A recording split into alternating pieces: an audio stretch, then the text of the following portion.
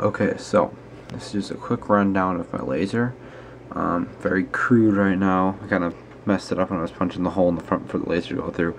Gotta fix it, but anyways though, normally it'll be powered by a 9 volt battery. This would then be inside the case, but for the time being I hooked up to my power supply.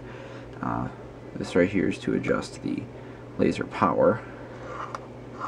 And then this right here is obviously turn it on and off. So let me turn my power supply on.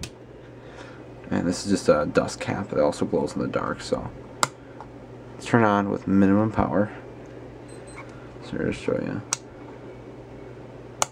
It's minimum. Then you go to max. That's with a dust cap on. So let's take this off. Let's turn the lights off and check it out.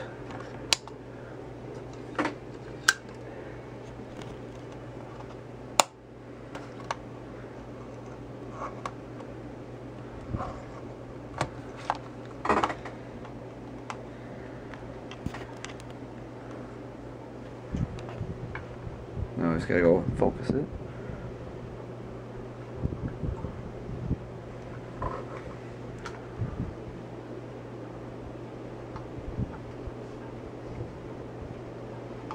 It just takes a little bit to focus, but then there we go, relatively focused. So let's turn the power up.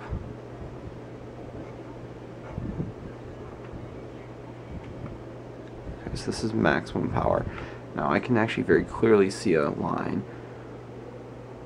It's just with the camera probably doesn't pick it up too well. But if you kind of look up, you kind of see a line leading up. To me, it's very, very clear. But yeah, so that's just a very quick demo of my laser. Thanks.